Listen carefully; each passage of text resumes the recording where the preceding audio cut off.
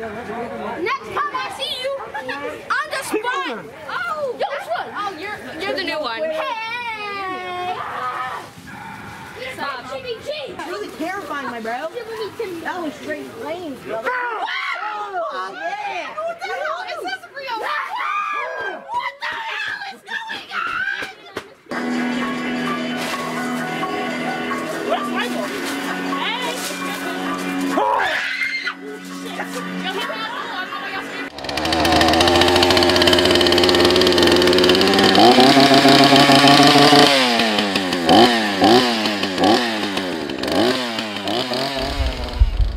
Happy Halloween, everyone. Tonight I'm coming to you from the Park Street Horror House, a place you may be familiar with as I filmed it last year.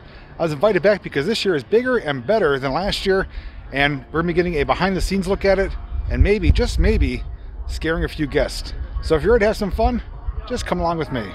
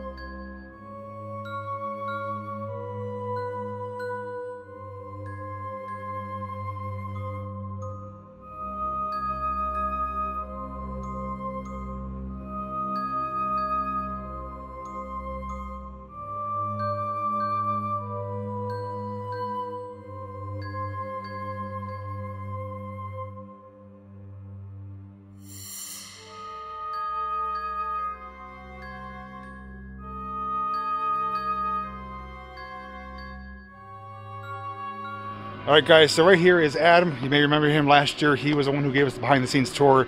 He's also the one responsible for the Park Street Horror House. He did invite me back because a lot of changes were made, and it's safe to say this got considerably bigger, right? Yeah. Okay, so he's going to take us for a behind the scenes tour and show you what changes have been made. All right, let's do it. So, last year the biggest change here was the clowns from Killer Clowns and all that. So we got rid of that and we did the whole, um, just more of a huge cemetery display. So now this way we go is going to be Candyman. So of course you have to say his name five times for him right here. So again, I just try to fill in some blood, um, hooks and stuff like that.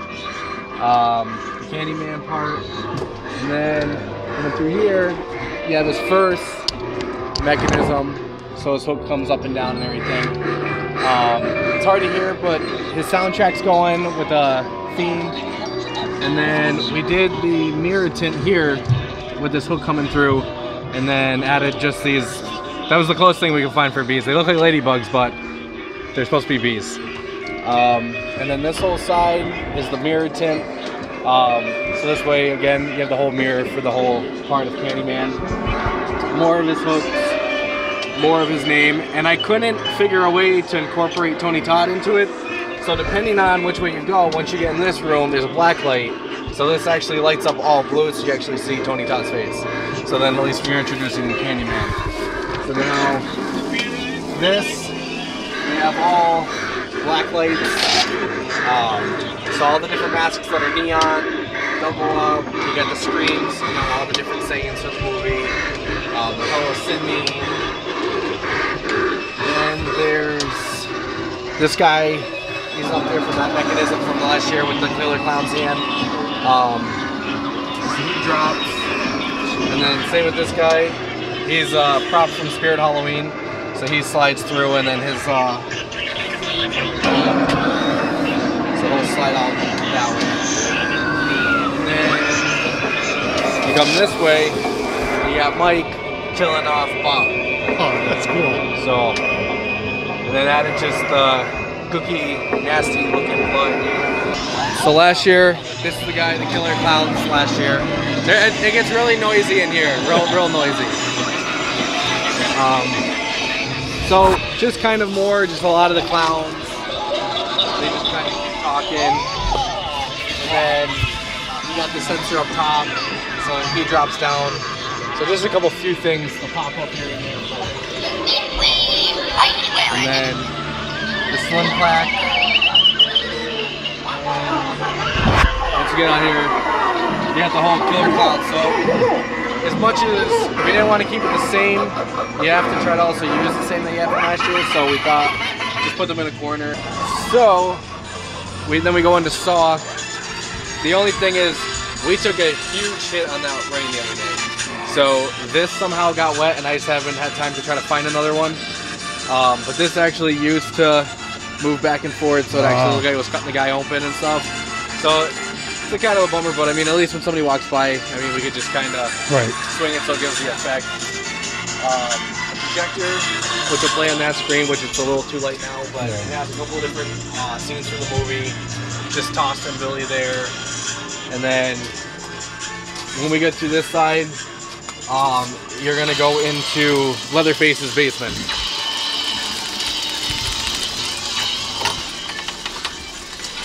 Oh, this is So- cool. So there's a lot different, and then that door.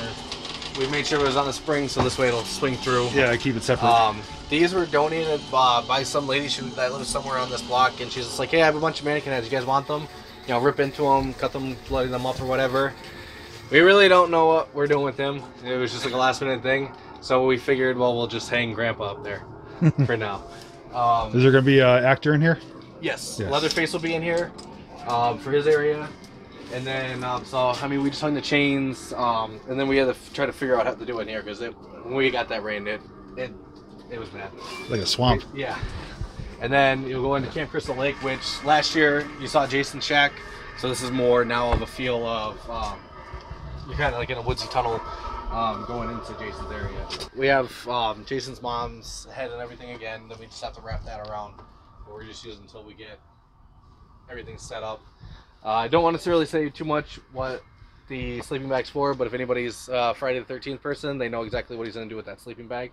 Uh, when people come through the tent and stuff like that, um, he may or may not have somebody in there and may, you know dragging them out or whatever. But so then this, so the area with the killer clowns that we lost, this is um, what Justin did to basically like work everything up. So I think there's probably I, I can't even tell you how many corn stalks, but between people giving them, uh, It's a small farm. some, yeah. So, uh, so like during the day, it gets hard because again with the weather and everything else, it just I mean it started ripping them and tearing them and everything. Uh, so then, uh, so that'll be one passageway if you really want if you want to go that way, but then you'll end up on the opposite side. Um, so when you come this way, there'll be um, a few actors and stuff in here that'll go. So then you have to start getting narrow again. So again, we try to we try to do stuff, but last year, I mean, everything was kind of crazy with COVID, and I mean it still is. But we just it's not scary if it's not enclosed. So then we did like the little Sam area, and then there is an actual um, Justin's daughter. She's Sam, so she'll be running around without the costume and all that stuff. And so we did the pumpkins. This is uh, again we had to just do like a quick fill-in area, so we just added um, little skeletons and all that. And then you just get into a very long, dark tunnel, which on that side you really can't see this way because there's so much going on that you're looking at. But then here you can have Leatherface popping up at you, um, and then we have like little side doors so we know how to get in and out if we have to get to somebody else's section. Then uh, little spider area. So we got the jumping spider, which are always nice because you can get a lot of good jump scares with them. And then we were gonna shred it, but we figured it's better if you kind of have to Push through, yeah. walk through it. Because the second you walk through it, and by the time you get here, you get right to Michael Myers. So then, if anybody's looking for any home reality or anything like that, they can call Strode. Watch your stuff right there. And then once you get up here, um, once you make this corner, you'll know exactly where you're going. And we'll this thing. So we're going back into Freddy's area. Gotcha. You got all these.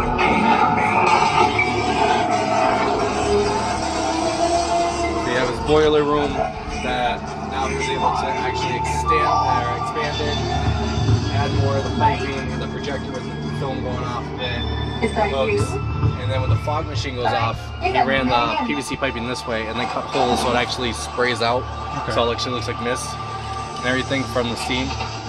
Um, and then he has his different areas uh, that he'll be able to run around and jump.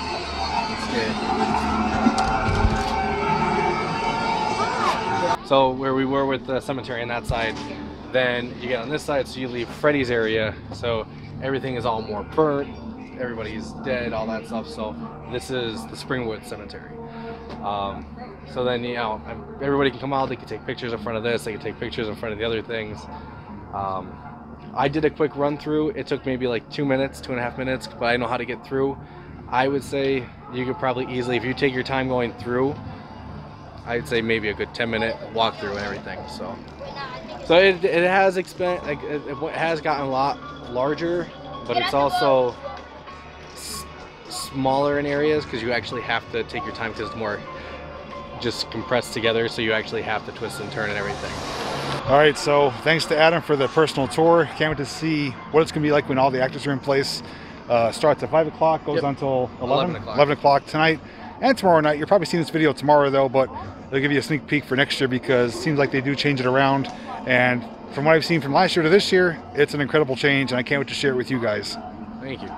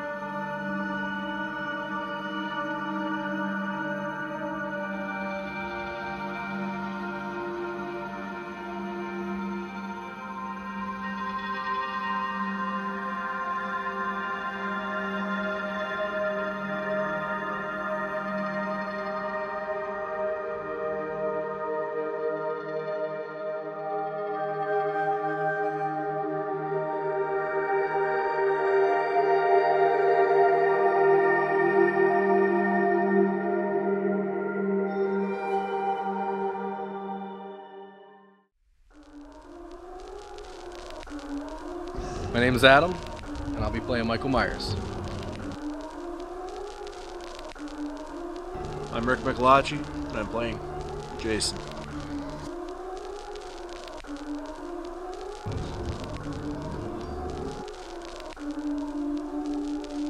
I'm Justin. and I play Freddy. Hi, my name is Alexander, and I'm playing a Scarecrow.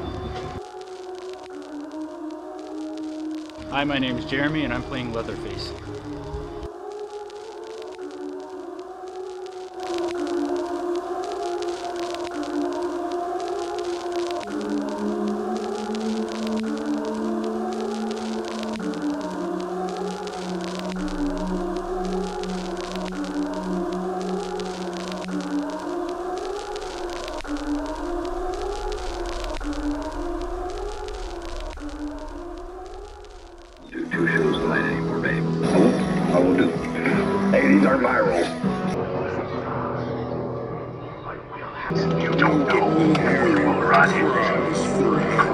Another great thing for this year too is they actually have the cooperation of the borough police. We're able to block off the street so no traffic can come through, only local residents. So it's gonna be safe for people to come here to walk on the street, take pictures, and do the haunted attraction. So thumbs up to Carbondale Police Department. You want something? Do you like cookies?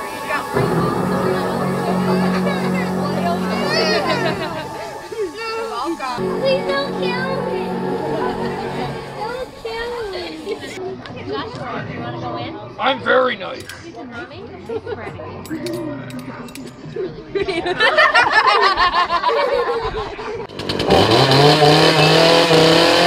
So darkness is upon us. The haunt is open. Actors are getting ready to scare a few guests. People are arriving, and I'm giving you guys a walkthrough or two.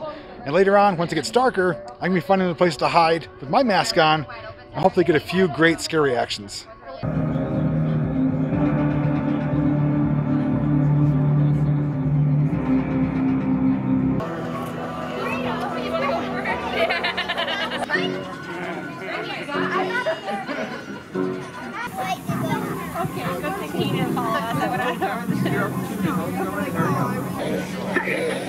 It's showtime.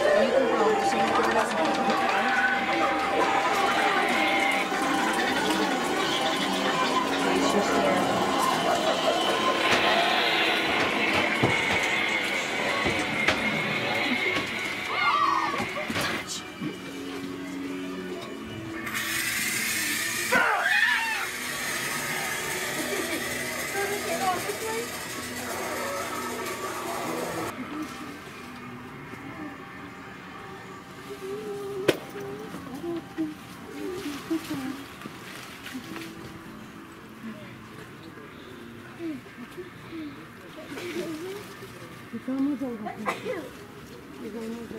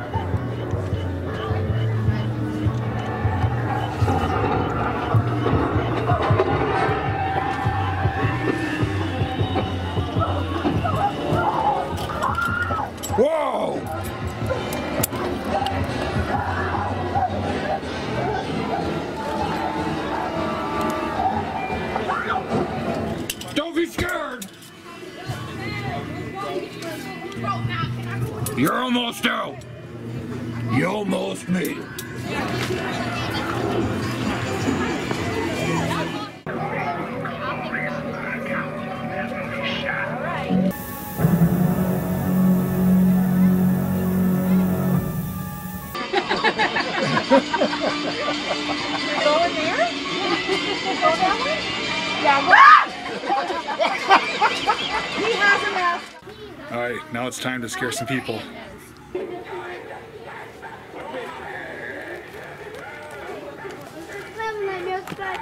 No, you're not. It's not you. There he is. He's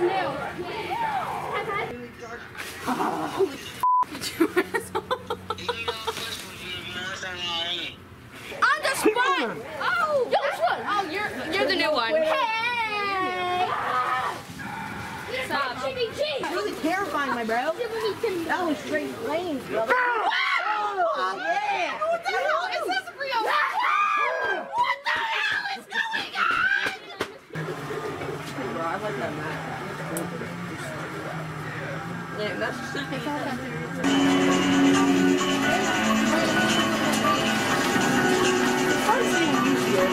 Oh my god!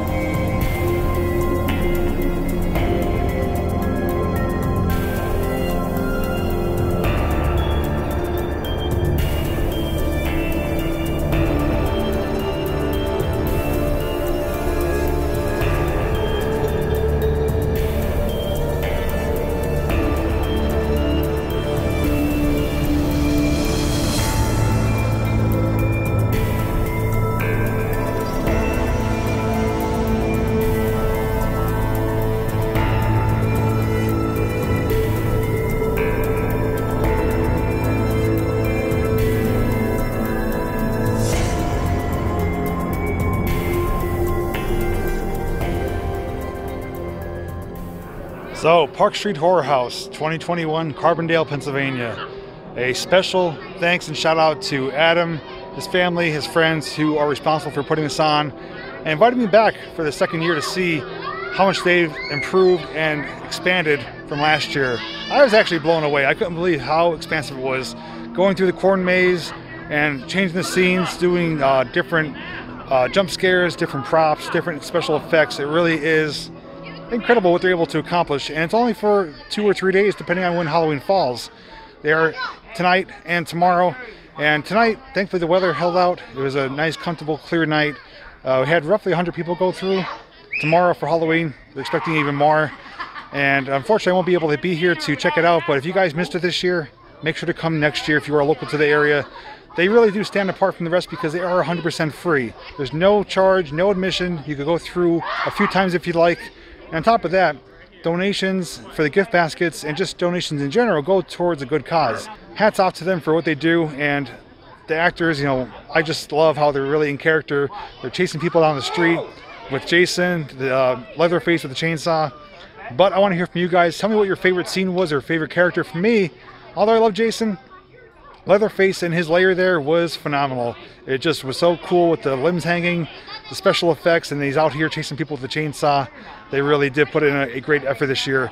And like I said, I'm glad to share it with you guys for those of you who can't make it and to spread the word for those who maybe don't know about it. But anyways, thanks so much for watching. Have a happy Halloween and until next time, I'll see you in the next video.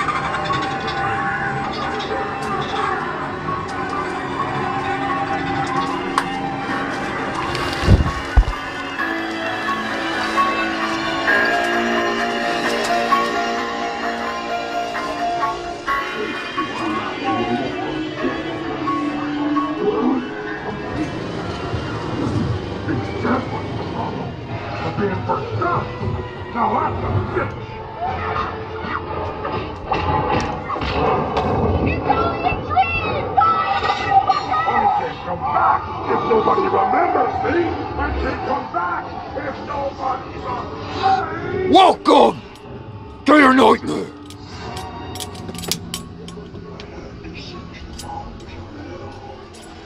But I found someone. Make them remember.